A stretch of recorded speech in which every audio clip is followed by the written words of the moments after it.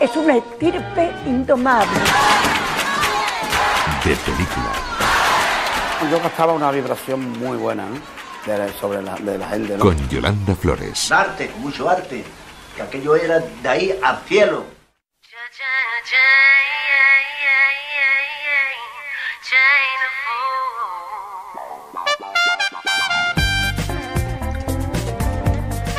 Pedro Calvo, muy buenas. Hola Yolanda, muy buenas amigas y amigos de la radio. Ya me estás contando cómo te trata la vida, que te noto un poco bajito de moral. Así que la Mm. moral tiene que ser siempre como jugadora de baloncesto, alto. No te creas, pura apariencia. Ayer me corté el pelo en una peluquería marroquí Oh. y me vino a la cabeza las veces que he disfrutado de la visita a Marruecos sentándome in situ en el sillón del bárbaro. Me gusta mucho cortarme el pelo en Marruecos. Siempre ha sido una grata experiencia y el tiempo pasa de manera distinta allí. Reina la amabilidad y la charla en las peluquerías y de una peluquería marroquí, si no tienes prisa, sales como nuevo, feliz y congraciado con el género humano. No se lo pierdan. Ah, bueno, vale. Pero ¿qué opina de todo esto el peluquero que te cortaba antes? Eh, ¿Que era venezolano o era de Santo Domingo? ¿De dónde era?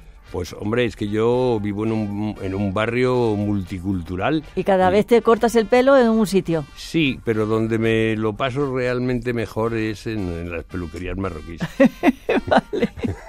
Bueno, pues dejando el corte de pelo hablado, vamos a recordar algo porque ustedes saben ya que el pasado viernes estuvimos en el, en el Festival de Cine de San Sebastián y no tuvimos el espacio y la oportunidad para comentar los resultados de esa última edición de los premios Emmy.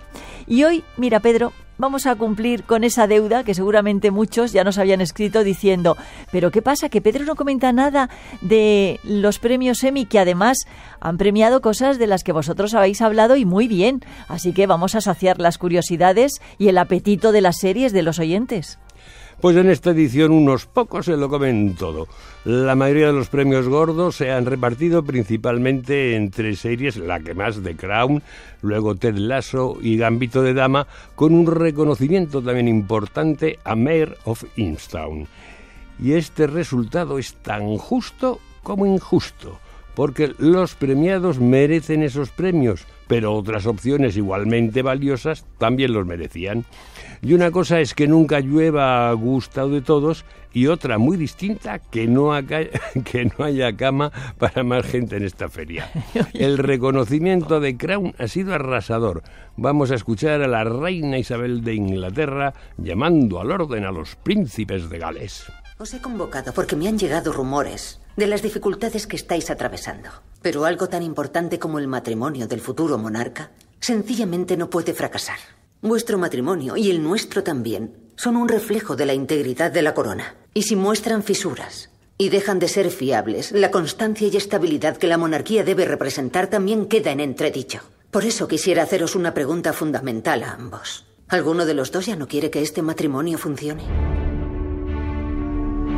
Pues la respuesta ya la tiene todo el mundo a estas alturas de la serie, por decirlo de alguna manera. A mí la verdad es que me gusta mucho The Crown. Es de esas series favoritas que yo estoy deseando ver y volver a ver. Pero cuéntame cuántos premios ha tenido que ya he perdido la cuenta. A The Crown le han, le han caído chorrocientos premios. Mejor drama, el primero. Y han sido entronizados sus actores, los principales y los secundarios. Josh Connor, Olivia Colman, Tobias Menzies y Gillian Anderson. Seguimos con la corona. Mejor guion para el creador de la serie que es Peter Morgan y finalmente mejor dirección para Jessica Hobbs. En la categoría de mejor comedia, la serie Ted Lasso se ha llevado varios premios y voy a destacar al actor principal que es John Sudeikis. Y la mejor actriz de comedia ha sido Jean Smart por Hack de la que todavía no hemos dicho nada porque todavía no la hemos visto. Halston ha sido premiada como mejor miniserie y también su protagonista, el gran Iwan McGregor. La apabullante miniserie Mare of Easttown tiene tres premios actorales: Kate Winslet, Bien. Evan Peter y Julian Nicholson. La recordarán porque trabajaba en Ley Orden. Y no se han olvidado de la justamente exitosa Gambito de Dama, premio a la mejor dirección para Scott Frank. Gambito de dama de la que hablamos aquí además también muy bien, ¿eh? Bueno, un juicio final. A ver, ya sé que me vas a decir que no había tanta cama para poca gente o esas cosas que tú dices. Yo, yo creo que había cama para tanta gente en ¿Sí? este caso. Un poquito revueltos. Eh, yo creo que hay más árboles en el bosque de los que hemos visto. A ver, nos vamos al más lúdico, no más que lo de la cama, más lúdico. Bien, pues ala, ponle a esto una poquita de música de esta que tú sabes y ya ponemos broche final. Vamos a despedirnos a lo grande con los Rolling Stones Bien. y su psicodélico Sisa Rainbow, que suena en la comedia Ted Lasso. Una canción para alucinar con ese maravilloso piano de Nicky Hopkins. Y doy las gracias por absolutamente todo al recientemente fallecido gentleman de las baquetas, Charlie Watts. A bailar, amigos.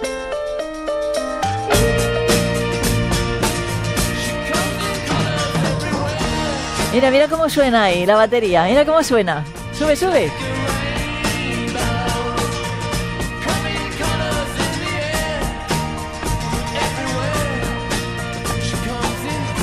Ay, cómo me ponen los Rolling a mí, me ponen los Stone, que para qué.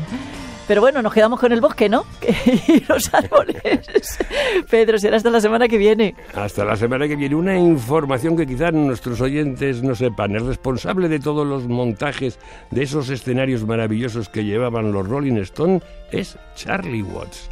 Hasta la semana que viene, amigas y amigos. Mira cómo me has dejado, así con la boca abierta. Adiós.